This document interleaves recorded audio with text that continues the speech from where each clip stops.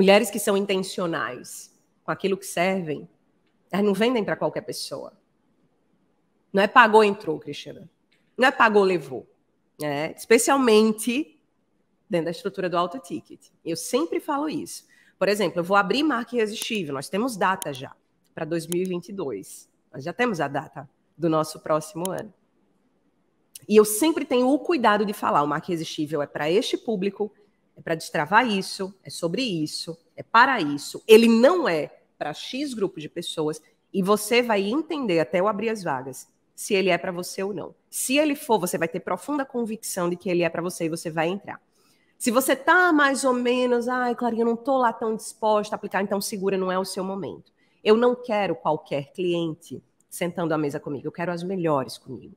E para essas melhores chegarem para mim, eu preciso aplicar um filtro. Um filtro que vai no meu posicionamento, no meu conteúdo, no jeito como eu vendo, no jeito como eu oferto, no, na, no formato como eu apresento, tudo que eu comunico no meu universo de marca, tudo que eu comunico através do meu conteúdo diário, das microações que eu revelo, que eu partilho com o meu público lá fora, tudo isso faz parte de uma grande ferramenta, de uma grande engrenagem que me permite buscar para mim as minhas melhores clientes.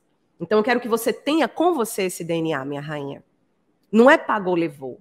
Porque nesse DNA de posicionamento, você acaba atraindo pessoas que não estão conectadas com a sua marca. Cliente que só dá dor de cabeça.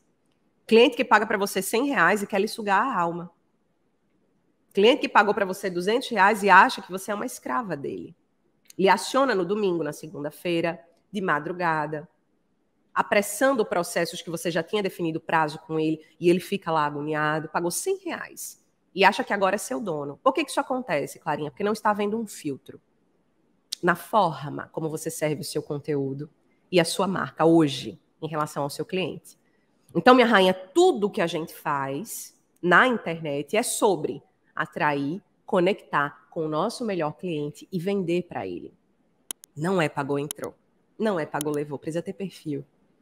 Essa é a pegada de uma mulher que é intencional e que, sobretudo, domina a sua marca. Que entende que não precisa de engajamento alto para vender muito bem, para aquelas pessoas que estão com ela.